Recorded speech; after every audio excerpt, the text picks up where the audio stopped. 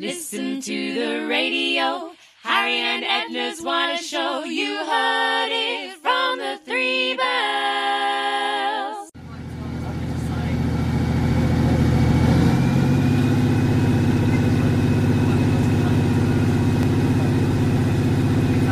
Otto, and welcome to Harry and Edna on the wireless.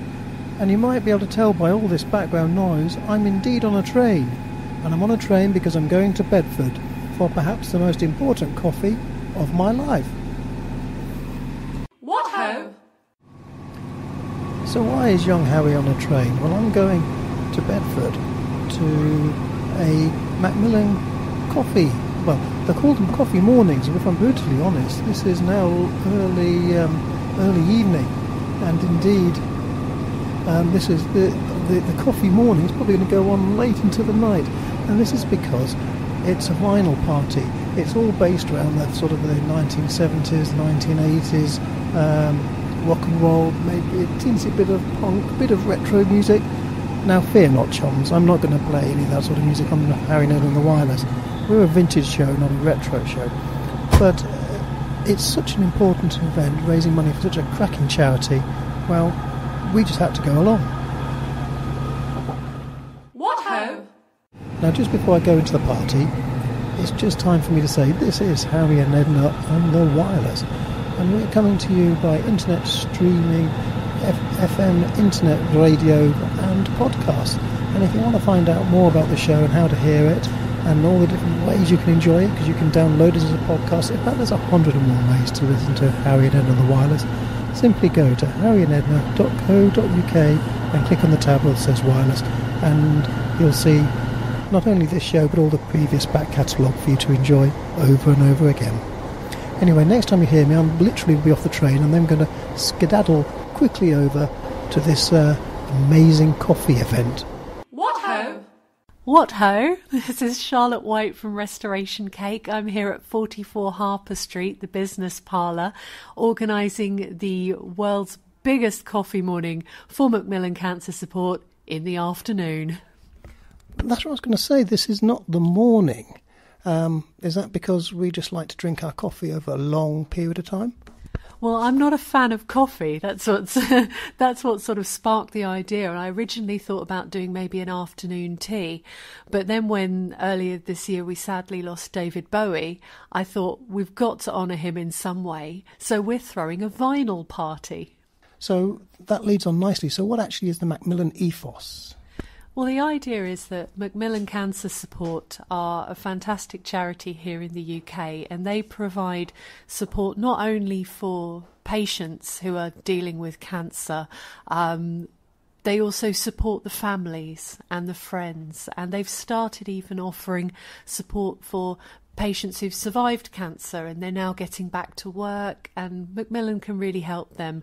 The Macmillan nurses are traditionally um, called in for patients who have terminal cancer and they care for them and look after them and counsel them. They're, they're a wonderful, wonderful charity we're trying to raise money for them because they're not government funded.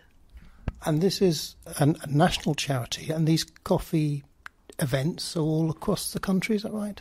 That's right. So the Macmillan Coffee Morning appeal started just over 25 years ago with one lady who got her friends together and suggested that they all bring a cake and they all have cups of tea and put money in the pot for Macmillan. That's grown over 25 years to what we now call the world's biggest coffee morning. And everyone in the UK will be so aware of this because it's very well publicised.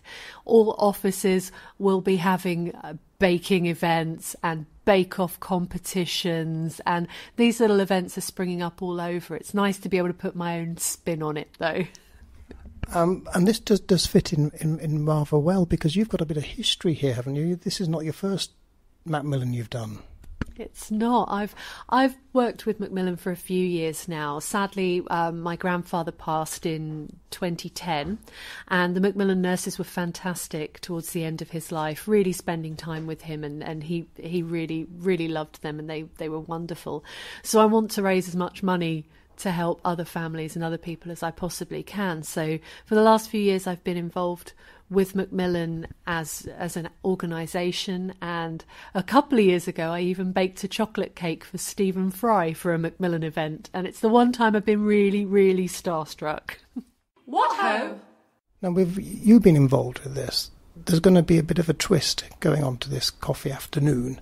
Um, this isn't just a bit of tea and cake and um, being served on a on a bitter bell. You've got you've got a whole theme going on here. We have. So I make no secret of the fact that I'm a huge David Bowie fan. I have been for many years, and obviously losing him this year was horrible. So I've I've done this really in his honour. Um, so the idea of a vinyl party came from my friends and I. We've we've had a few evenings over the last over the last few months where we've got together and shared records and and listened to music and things you wouldn't necessarily perhaps have at home. So I thought, well, let's have a vinyl party. Let's share music because it's so important to so many of us, and um, and just really celebrate and raise lots of money. Now, you're talking about vinyl. Now, obviously, the vinyl was the music media of a few years ago, and then CDs came along, they've died away, and then it was downloadable, and now it's streaming. Is there plenty of vinyl out and about for people to bring, or are you having to rummage through all the charity shops to try and find something? It's amazing. We've got so much vinyl. I mean, I have a huge collection at home. My husband has a huge collection at home. Lots of our friends do play records, and we do have records, and people have started buying new release records, which is great. But we've actually got here, I've got probably about 30 brand new records, all shrink wrapped, which we're giving away in our rock and roll tombola because the music industry have generously donated so many records, which we're, we're going to be raising money by giving them away. You see, this is a bit sad for me because that's when I'm feeling my age. Because not only do I remember, you know, David Bowie in the 70s, and I remember records very well, and indeed rock and roll, but this is getting to be quite a a good few years ago. I use the word retro because I just can't cope with the word vintage on there. So, although you may have the records, have people actually got the, the, the record players to play them on? Because I've got CDs, but I haven't got a CD player. it's really funny you say that. I mean, there are there are allegedly out there some young people who are buying records because they think they're cool and they like the artwork and they like the the kitsch of owning a record but have nothing to play them on. I'm sure that those people will eventually crack. And um, when it comes to Christmas, I actually think the little individual, like an old Dansette, the, uh, the, individual record players, I think this Christmas, top tip, I think they're going to be flying off the shelves. But you know, we've we've got a 1960s radiogram that we can play. We can play records, or we can play new records, we can play old records, we can even play 78s on it because it's right from that term where things changed. So I think people are still playing and, and appreciating music in this way. So what? So we got everybody's having a bit of a party next door. We sneak to a back room. So what? Are, what are they playing on? what are they playing on? They're playing on the wonderful Jez Brown's um, portable record player. He's very generously brought it down, but he did warn me today. He said, bear in mind it's an old player. It can't cope with the new heavy vinyl. It can only cope with that kind of older vinyl record, which you could pretty much bend into a fruit bowl if you wanted to. this, this so, will I see a two penny pence on top of the, the, the stylus to hold it down now? You've got to be of a certain age to understand that. yeah. now, it's not just the music also. How else have you themed? Because I did spot something on the on the, on video the other day. Yes, there is. I made some cookies in the shape of lightning bolts, um, again in honour of David Bowie and the Aladdin Sane makeup. But then I had, I'm, I'm a little bit discombobulated, Harry, at this point in time. My kitchen has been ripped out. My kitchen is now being refitted. And I was icing these cookies and I realised that I'd put the blue on the right when it should have been on the left and the red the other way round. And I, I had a moment and thought I was going to throw out four dozen cookies until I pulled myself together and thought, no, no, it's fine. They'll taste great. Can you not just turn them around? you have to look at them through a mirror. If you look at them in a mirror, they're fine. what ho? Now, while the track was playing, I was learning about the advantages of vinyl, and partly because of my love of shellac. With vinyl, you no longer crush the beetles to get the um, to get to get the, the, this, the, these discs of, of, of music. But you, you and but vinyl is, it, I know it impresses my children a lot. The fact that you buy a record and you get two tracks, they're not used to this. I mean, what is the what is the real benefit of vinyl? I think the listening experience is different with vinyl, and you know, I'll, I'm I'm in no under no illusions that that it's it's necessarily better. It's just different. It's a different experience. So while I have my, my Spotify premium account and I stream to my phone and I can listen to any song that I want to right now, um, other than Taylor Swift, obviously, um, with vinyl, you put a record on and you sit down and you listen to it, start to finish. You know, you listen to the whole side. I my my player, my my radiogram has valve speakers and it plays both mono and stereo. So you get a completely different um, sound experience listening in this way. And I went to a charity shop and picked up Avalon by Roxy Music for a pound. Bargain, great, I'll have that. Took it home, put it on. I've listened to that album a million times, I'm sure. But the experience of hearing that was so different. It really, it, it just went right through my stomach. It was incredible. You were talking earlier about David Bowie and how you made the lightning bolts. Now I saw that, that that was a little like YouTube clip or something about that. How do you get the lightning bolt? Do you have like because I don't suppose you can get a a cutter that's in that shape, and surely you didn't freehand a hundred biscuits. Do you know what? This time, when earlier in the year I did a I did an event where I made cupcakes with little fondant um, fondant lightning bolts on. I, I, did tell you I'm a fan. I'm a crazy fan. So with those ones, because they were quite small, I did hand cut them. Um, and to cut something like a lightning bolt, it's not it's not too taxing. It's, it's a basic shape. But for the cookies today, I I do have a, a, lightning bolt cookie cutter which I invested in, and it was delivered to me from Turkey. So it's come all all the way from Turkey. And yeah, you can get lightning bolt um, cookie cutters. And, the the video shows how do you get the colour right to the edges, and I was quite impressed with that because I'm having decorated many a cake and put a splodge here and there. So, for those who, who haven't been fortunate enough to go and see the video, how how do you do it? What was the t- what, what, come on, what's the tips and tips and hints here? Okay, so the the kind of cookies that I've made have royal icing on them, which is icing sugar and egg white, essentially. What you need to do is you need to have two different consistencies, and the technique is known as flooding. So you start off with one slightly thicker consistency, and you use that to pipe, if you like, a floodgate. So you pipe round the edges, and that will hold in the rest of the icing. So your second type of icing is what we call seven second icing. And that's so runny that when you take a spoon out, you can count to seven and it will be completely flat again. So you take that runny icing and pour it over the top of your cookie. And the little floodgate that you've already piped holds all of the colour in there so it's not going to drip all out over the edges. There is a video on my website and I'm making heart-shaped cookies using that same technique so you can watch it watch it happen in, in real time. What ho?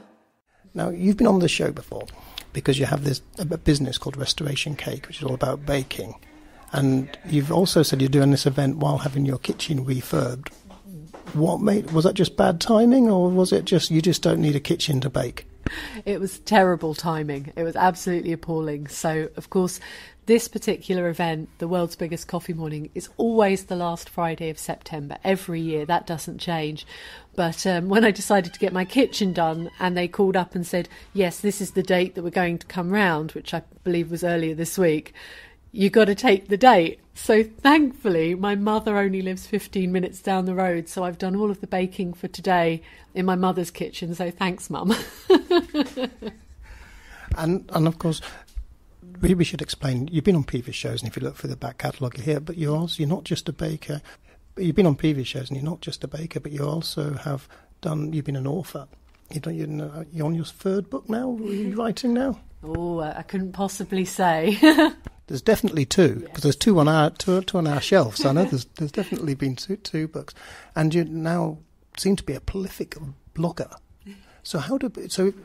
You're saying about to find out how you did the cakes and the hearts. You can go to your website. So so where is the website? Where do we go find out about Charlotte White and Restoration Cake?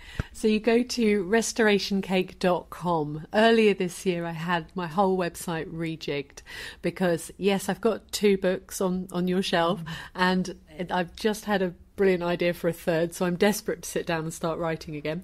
Um, but in the meantime, I blog about where I'm going and what I'm doing because I do a lot of a lot of events. I do a lot of food festivals and a lot of shows. But I can also sit and write down recipes. So I've got a whole section on there, and it's all my recipes that I love, and I'll put more on there as I as I come up with them. And you can have them; they're free. Help yourself. I, I just want to get everybody baking and decorating and um, and just entertain people. And indeed, the last time I saw you, I think you were at Goodwood, and you were in a revolving kitchen, which was a bit bit more unusual. So that wasn't available. You had to go to your mum's. oh no, I couldn't get. If I could have had the revolving Kenwood kitchen, that would have been brilliant. So yeah, if anyone was at Goodwood, I was there all weekend baking, especially on the Saturday when it rained so hard. We'd have all these soggy people standing at the door, and I'd be calling them in, "Come, come in, sit down. I've got free cake. I'll warm you up." and so, where do we find you? What is the website? Where do people go to? So head to restorationcake.com. You can find me on all social media as well. So I'm at Restoration Cake on Twitter, Instagram, and Facebook as well. Who's going to rejoin your party? So what records are you going to be taking down? Well, aside from the obvious David Bowie, I've got um, some Roxy music, some T Rex, Lou Reed, and the soundtrack to Some Like It Hot. What ho? Well, I've had to leave the vinyl party. It's going to go on much later, but I had to get the final train home. And I'm actually now travelling, believe it or not, on the Marston Vale line. This is the, the train line that's taken me back to the 1940s postal district. And what is cracking about this you know, we've had them on the radio show, the people that run the line. Yes, if you go to harryandedna.co.uk and click on the tab that says wireless, you'll see um, information about the radio show we do, Harry Edna and the Wireless, and also how to listen to the show. You know, we're available by internet streaming, podcast, FM, and internet radio, and all the and there is a listing of all the previous radio shows we've done scroll through those, and there is an awful lot there. And there's one about Marston Vale Line, because this train line has an awful lot of history, and I'm not just talking about the 1980s rolling stock I seem to be sitting on at this precise moment. What ho? Right, well, I've had to leave the vinyl party.